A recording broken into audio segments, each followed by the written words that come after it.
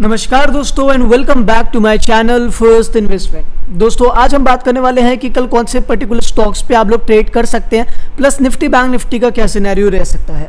जैसे कि आप लोगों को पता होगा कि कल मैंने स्टॉक्स दिए थे आप लोगों को Jindal steel, GAIL Muthoot finance Raymond, Adani enterprises और मैंने आप लोगों को कहा था कि अदानी इंटरप्राइजेस हम लोगों ने थर्सडे को भी बाय करके मेरे अपने क्लाइंट्स को दे रखा है और मैंने भी पर्सनली बाय कर रखा था। और अब आप लोग आज देख सकते हैं कि दो सौ का शेयर दो सौ पैंतीस हो चुका था। ऑलमोस्ट हम लोगों को बहुत बढ़िया रिटर्न दे चुका था। हाँ जी गाइस जिंदल स्टील ने भी बहुत बढ़िया रिटर्न हमें आज दिया।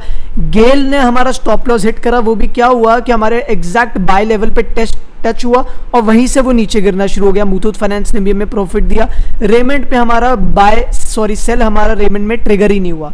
तो ये पर्टिकुलर पाँच स्टॉक्स में से चार हम लोगों के ट्रेड में गए थे, जिसमें से तीन के स्टॉप लॉस तीन के टारगेट्स हिट हुए और एक का स्टॉप लॉस हिट हुआ।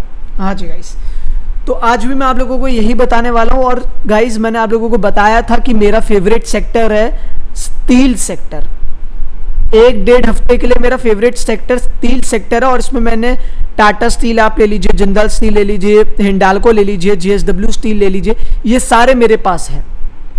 हाँ जी गाइस ये सारे मेरे पास है और ये पर्टिकुलर मैं अभी भी होल्ड कर रहा हूँ। अब जैसा कि आप यहाँ पर देख सकते हैं, सबसे पहला स्टॉक मैं आप लोगों के लिए लेकर आया हूँ जीएसडब्ल्यू स्टील इस लेवल से अराउंड 255 से हमने देखा था, एक तीन दिन के अंदर एक स्ट्रॉन्ग मूवमेंट आई। उसके बाद दो दिन हॉल्ट करा। ये देख सकते हैं, दो कैंडल हॉल्ट करा और आज इसके ऊपर ब्रेकआउट दे दिया। ये वाला जो पैटर्न है, ये पैटर्न मैंने लगातार कंटिन्यूसली तीन वीडियोस पे आप लोगों को बताया है। तीन वीडियोस पे ये मैं कंटिन्यूस पैटर्न के बारे में आप लोगों को सिखा रहा हूँ, बता रहा हूँ। अब तक ये आप लोगों के दिमाग में बैठ जाना चाहिए और मेरे को अब पता होना चाहिए कि अगर ये पर हज़ार लोग बंदे ये वीडियोस देख रहे हैं तो उसमें से कम से कम 70 या 60 परसेंट लोगों को समझ में आ गया होगा और पता चल गया होगा कि इस पर्टिकुलर पैटर्न के थ्रू ट्रेड कैसे लेते हैं। कमेंट सेक्शन के अंदर मुझे ज़रूर बताएगा कि इस पैटर्न के बारे में अब आप लोग समझ गए हैं। एक सडन स्पाइक आती है दो तीन दिन के अंदर फिर हॉल्ट करता है यहीं पर ही और जैसे इसके ऊपर निकलने की कोशिश करता है, हम लोग बाय बना लेते हैं और एक सडन मूवमेंट आती है। एग्जैक्ट अदानी इंटरप्राइजेस के अंदर था एग्जैक्ट जिंदल स्टील के अंदर था एग्जैक्ट टाटा स्टील के अंदर था, सब स्टॉक्स के अंदर यही पर्टिकुलर पैटर्न्स थे और ऐसे ही इवेंचुअली ब्रेकआउट दिया था। इंदोसेंट बैंक आप देख सकते हो, सारे चीज़ों में यही पैटर्न्स थे। ठीक है? तो अभी भी यहाँ पर मैं बाय के लिए इनिशिएट करूँगा। हो सकता है कि कल एक हॉल्ट कर जाए और अगले दिन एक ब्रेकआउट आए, क्योंकि यहाँ पर आप देख सकते हैं, अगर मैं ट्रेंड लाइन्स को ड्रॉ करता हूँ तो एग्जैक्ट अपने रेजिस्टेंस पे खड़ा है। बट इवेंचुअली ये रेजिस्टेंस भी ब्रेक होगा और इसके लिए जो मेरे लिए पर्टिकुलर टारगेट्स निकल के आ रहे हैं, वो फ़र्स्ट टारगेट इवेंचुअली यही है। ये देख पा रहे हैं? यही एक रेंज है जो मुझे लगता है कि 299 298 के आसपास तक ये जा सकता है। कल नहीं तो परसों तक आराम से जा सकता है। तो ये एक बाय स्टॉक है और यही मैंने आप लोगों को अपने डिस्कॉर्ड के जो मेरा चैनल है, उस पर मैंने आप लोगों को पहले ही बता दिया था कि मैं स्टील सेक्टर में बहुत ज़्यादा बुलिश हूँ। मैंने वहाँ पर स्टॉक्स भी आप लोगों को रिकमेंड कर दिए थे। अगर आप लोगों ने अभी तक ज्वाइन नहीं करा, नीचे जो लिंक है ज्वाइन होने का, आप जाके क्लिक करके ज्वाइन हो सकते हैं और वहाँ पर आपको वेरियस बेनिफिट्स भी प्रोवाइड होंगे। तो उसके लिए आप वीडियो हमारी देख सकते हैं, उसका लिंक भी नीचे डिस्क्रिप्शन पे है। नेक्स्ट स्टॉक पे आते हैं टाटा स्टील अब टाटा स्टील पे अगर आप लोग देखिए तो सिमिलर पैटर्न है। इस लेवल से 340 से ये, इस लेवल तक गया 370 तक, तीन दिन के अंदर 30 पॉइंट्स की एक स्पाइक आई। हॉल्ट करा ये दो कैंडल पे और जैसे ही से ब्रेक करा, हम लोगों ने यहाँ पर बाय पोजीशन इनिशिएट कर दिया और एक सडन स्पाइक आई, एक सडन मूवमेंट आई है, जिस तरीके से मैंने आप लोगों को बताया। तो कमेंट सेक्शन के अंदर मुझे जानना ज़रूरी है कि आप लोग ये पैटर्न के बारे में समझ गए हैं या नहीं समझ गए हैं, क्योंकि यहाँ पर मेरा फोकस समझाना भी है और आप लोगों को बताना भी है। मैं बता तो बहुत अच्छे से रहा हूँ बट अगर आप लोगों को ये पैटर्न के बारे में समझ नहीं आ रहा तो यहाँ पर देखिए, मेरा बहुत ज़्यादा मतलब मैं आप लोगों के लिए यहाँ पर मेहनत करके ये पैटर्न आइडेंटिफाई कर रहा हूँ बट अगर आप लोग नहीं समझ पा रहे हैं तो मैं इससे ज़्यादा आप लोगों को नहीं बता पाऊँगा। ठीक है? तो ये पैटर्न आप लोगों को समझ आ गया है तो कमेंट सेक्शन के अंदर मुझे ज़रूर बताइएगा। तो यहाँ पर अभी भी बाय इनिशिएट कर सकते हैं। देखिए, एक सडन स्पाइक आने के बाद हो नहीं सकता कि बहुत कम चांसेस होते हैं एक दोबारा एक स्ट्रॉन्ग मूवमेंट आती है। तो आप लोगों को क्या करना है, अपनी ये स्टील सेक्टर जो मैं वॉच लिस्ट आप लोगों को आज पाँच शेयरों की दे रहा हूँ, उस पर आपको अपनी वॉच लिस्ट पे ऐड कर लेना अगर कल एक हॉल्ट करता है तो वेट करेगा कि अगले दिन बाउंस करे। वेडनेसडे को तो भी आप बाय बना सकते हैं, क्योंकि ये आप लोगों को बढ़िया रिटर्न दे सकते हैं। नेक्स्ट स्टॉक आता है जिंदल स्टील जो मैंने आप लोगों को कल भी बताया था। जिंदल स्टील को भी आप देख सकते हैं। ये देखिए, एक सडन स्पाइक आई हॉल्ट करा दो दिन। और आज ब्रेकआउट दे दिया इसने बहुत ज़्यादा ऊपर ब्रेकआउट नहीं दिया है। थोड़ा सा ही ब्रेकआउट दिया प्लस अपने एक ट्रेंड लाइन को भी ब्रेक करके ऊपर चली गई है। अब जो इसका रेजिस्टेंस आ रहा है, वो सीधा इस लेवल पे आ रहा है, जो कि दो सौ का लेवल है।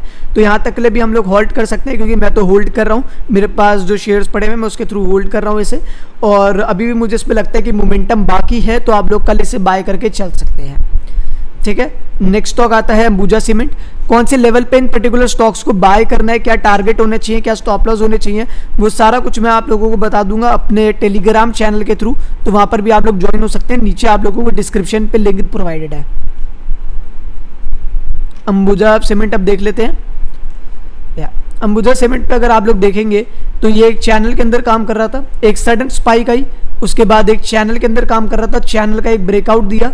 ब्रेकआउट देने के बाद इसने थर्सडे को ब्रेकआउट दिया था। आज मंडे को यहाँ पर हॉल्ट करा है। एग्जैक्ट उसी लेवल पे क्लोज करा है, जिस लेवल पे हमने देखा था कि प्रीवियस टाइम क्लोज करा था। और अभी भी मतलब हो सकता था, अगर ये नीचे क्लोज करता तो हम लोग थोड़ा सा सोचते भी शायद अब नीचे आ सकता है। बट अब इसका जो एक रेजिस्टेंस लेवल है, मैं आप लोगों को यहाँ पर दिखा देता हूँ। ठीक है? जैसे ही क्रॉस होता है, हमें अच्छे खासे लेवल्स प्रोवाइड हो सकते हैं।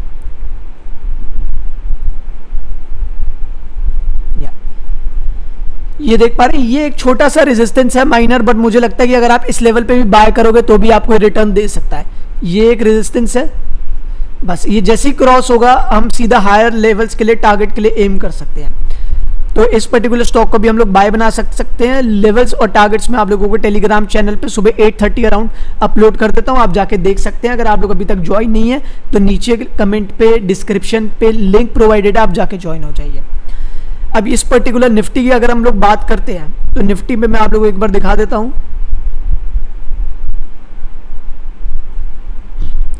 देख सकते हैं कि निफ्टी ने एक पर्टिकुलर ट्रेंड लाइन का तो ब्रेकआउट दे दिया है वो भी गैप अप के साथ ब्रेकआउट दिया है तो एक पॉजिटिव माना जाता है कि गैप अप के साथ एक ब्रेकआउट दे रहा है और उसके ऊपर सस्टेन भी करा है बस एक इंडिसाइसिव कैंडल बनाई रखी है। तो उसके लिए मैं सोच रहा हूँ मैंने आप लोगों को कहा था कि जब तक 11,550 के ऊपर ये क्लोज नहीं करेगा तब तक हम लोग बाय नहीं इनिशिएट करेंगे। सॉरी 450 के ऊपर। ये लेवल था 450 के ऊपर जब तक क्लोज नहीं करेगा तब तक हम लोग बाय इनिशिएट नहीं करेंगे। तो 450 के ऊपर कर चुका है। अगर कल एक ये डिप देता है तो हम लोग एक बाय इनिशिएट इसमें दोबारा कर सकते हैं। बट कॉशियस इसलिए रहना ज़रूरी है, वो मैं आप लोगों को दिखाता हूँ। ये देखिए, ये है एक स्ट्रॉन्ग रेजिस्टेंस यहाँ पर रेजिस्टेंस था, यहाँ रेजिस्टेंस था, और यहीं पर इसने अपना हाई मार के नीचे आया है। तो देख सकते हैं कि एक पैटर्न और भी बन सकता है, एक head and shoulder type pattern भी बन सकता है। मतलब मैं आपको ये नहीं कह रहा कि बन मैं कह रहा हूँ सिर्फ़ एक, हो सकता है एक बाई चांस कि बन भी जाए अगर नीचे आने की कोशिश करता है। बट ये हम एज्यूम करके चल रहे हैं। पॉसिबिलिटी नहीं है कि हो सकता है। तो कभी भी एज्यूम करके चलना और ट्रेड लेना दोनों में फ़र्क होता है। हम लोग सोच के चल रहे हैं कि अगर बाय चांस इसके नीचे कल क्लोज देता है तो हो सकता है कि शायद यहाँ से रिकवर कर जाए। नीचे आ सकता है और फिर एक हेड एंड शोल्डर बनाए। बट जब तक इसके ऊपर क्लोज है 500 के ऊपर 11,500 के ऊपर तब तक हम लोग एक सेल का ट्रेड इनिशिएट नहीं करेंगे। ठीक है? तो निफ्टी और बैंक निफ्टी में मैं कल ट्रेड करने की सलाह नहीं दूँगा। मुझे नहीं लगता कि कल एक ज़्यादा मूवमेंट बाय की तरफ़ आ सकती है और सेल की तरफ़ भी आएगी तो रिकवरी आ सकती है। तो यहाँ पर आप लोग एक ट्रेड लेकर चल सकते हैं।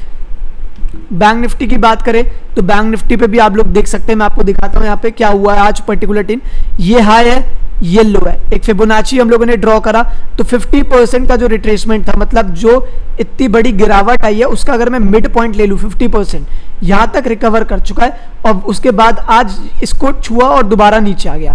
एग्जैक्ट इस लेवल को छुआ और दोबारा नीचे आ गया और अपने बिल्कुल नीचे जाके क्लोज करा है। तो एक स्ट्रॉन्ग मूवमेंट के बाद एक बियरिश इसने एक कैंडल बनाई है तो यहाँ से अब एक नीचे की तरफ़ ये कैंडल बना सकता है। दूसरी बात अगर मैं आप लोगों को बताऊँ, यह पहली बार रेजिस्टेंस नहीं मिला, यहाँ पर आप देख सकते हैं। यहाँ पर भी कितनी बार रेजिस्टेंस मिला था तो एक शार्प फॉल आई थी।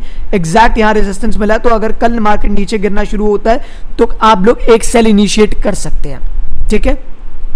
ये थी हम लोगों की आज की एनालिसिस अगर आप लोगों को वीडियो पसंद आई तो वीडियो को लाइक करिए बट मैंने आप लोगों को जो बोला है गाइस अगर आप लोगों को पैटर्न के बारे में समझ में आया है तो कमेंट सेक्शन के अंदर मुझे ज़रूर बताएगा कि आप लोगों को पैटर्न के बारे में समझ में आया है।